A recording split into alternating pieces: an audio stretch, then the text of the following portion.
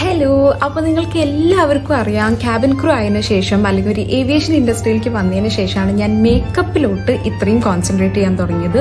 Also when we are using makeup on a daily basis നമുക്ക് skin കെയറിന്റെ കാര്യത്തിലും ഭയങ്കര ഒരു കെയർ കൊടുക്കേണ്ടി വരും.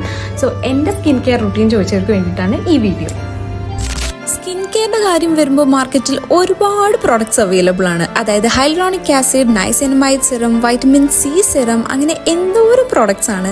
ഇതിൽ ഏത് പ്രോഡക്റ്റ് യൂസ് ചെയ്യണം എന്ന് കൺഫ്യൂസ് ആയിരിക്കുകയാണെങ്കിൽ റെനി പുതിയതായിട്ട് ലോഞ്ച് ചെയ്ത immortal face cream is the best solution കാരണം ഇതിൽ ഇൻക്ലൂഡ് ആയിട്ടുള്ള niacinamide peptides hyaluronic acid vitamin C lactic acid പിന്നെ സെറമൈഡ്സ് എല്ലാം works like magic on your skin use ചെയ്തതിന് ശേഷം സ്കിന്ന് നല്ല ബൗൺസി ആയ പോലെ തോന്നും. സോ ഇതുപോലെ ഒരുപാട് പ്രോഡക്ട്സ് യൂസ് ചെയ്ത് കൺഫ്യൂസ് ആവാതെ റെനയുടെ ഇമ്മോർട്ടൽ ഫേസ് ക്രീമിലേക്കാണ് ഞാൻ സ്വിച്ച് ചെയ്തത്. നിങ്ങൾക്കും ലിങ്ക് വേണമെങ്കിൽ കമന്റ് ഇറ്റ് ഡൗൺ